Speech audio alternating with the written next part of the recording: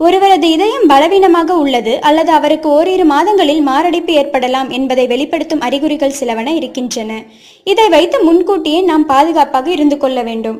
மாரடைப்புக்கு மட்டுமல்ல நமது உடலில் எந்த ஒரு நல்ல தீய மாற்றங்கள் ஏற்பட்டாலும் அதை குறித்து நமது உடல் ஒரு சில அறிகுறிகளை வெளிப்படுத்தி நம்மை ஜாக்கிரதையாக இருக்க சொல்லி வலியுறுத்தும். இனி ஒருவருக்கு மாரடைப்பு வரப்போகிறது என ஒரு மாதத்திற்கு முன்னரே வெளிப்படும் அறிகுறிகள். மிகையான மயக்கம். மாரடைப்பு ஏற்பட போகிறது என்பதை வெளிப்படுத்தும் முதல் அறிகுறியே இதுதான். மிகையான மயக்கம். தொடர்ந்து நாள் முழுவதும் வேலை செய்து கொண்டே இருந்தால் இந்த மயக்க நிலை தென்படுவது இயல்பு. ஆனால் பெரிதாக எந்த வேலையும் செய்யாத போதும் தொடர்ந்து இந்த மயக்க நிலை தென்படுவது மாரடைப்பிற்கான அறிகுறியாகும். நீங்கள் இதை உணர்ந்தால் உடனடியாக மருத்துவரிடம் பரிசோதனை செய்து கொள்ள வேண்டியது அவசியம். இரண்டாவதாக காணப்படும் அறிகுறி தூக்க கோளாறுகள்.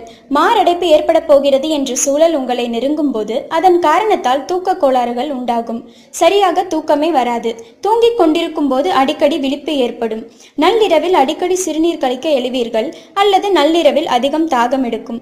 பொதுவாக உங்களுக்கு இந்த எந்த கோளாறும் இல்லாமல் திடீரென எப்படி சில மாற்றங்கள் காண துவங்கினால் நீங்கள் கட்டாயம் மருத்துவரை காண வேண்டும். முன்பு இல்லாமல் திடீரென மூச்சு திணறல் உண்டாவது மூன்றாவது மாரடைப்பு அறிகுறியாக காணப்படுகிறது. ஒருவேளை உங்களுக்கு இதய கோளாறுகள் இருந்தால்தான் திடீரென இந்த மூச்சு திணறல் கோளாறு ஏற்படும். உங்கள் இதயத்திற்கு போதுமான அளவு ஆக்சிஜன் கிடைக்கவில்லை என்றால்தான் இந்த மூச்சு திணறல் ஏற்படும். அஜீரணம் மற்றும் ஒரு மாரடைப்பு அறிகுறியாக இருப்பது செரிமான கோளாறு அதாவது அஜீரணம். எப்போதுமே வயிற்றில் ஏதோ சத்தம் உண்டாவது போன்ற உணர்வு ஏற்படுவது இயல்பாக எடுத்துக்கொள்ளக்கூடாது. மேலும் சில சமயங்களில் காரமான மசாலா அதிகம் கலந்த உணவு அல்லது கடினமான உணவுகள் உட்கொண்டால் கூட இந்த உணர்வு தென்படலாம். பதட்டம். எப்போதும் இல்லாமல் திடீரென நீங்கள் மிக பதட்டமாக அல்லது படபடப்பாக உணர்கிறீர்கள் என்றால் உடனே மருத்துவரை கண்டு பரிசோதனை செய்து கொள்ளுங்கள். இதுவும் மாரடைப்பு ஏற்படுவதை முன்கூட்டியே வெளிப்படுத்தும் அறிகுறிதானாம். உடல் சோர்வு.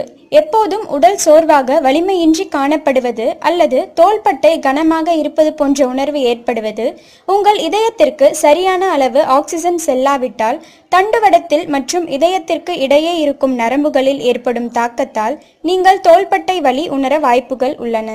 இது போன்ற மருத்துவ குறிப்புகளை மேலும் அறிந்து கொள்ள எங்கள் சேனலை சப்ஸ்கிரைப் செய்யுங்கள்.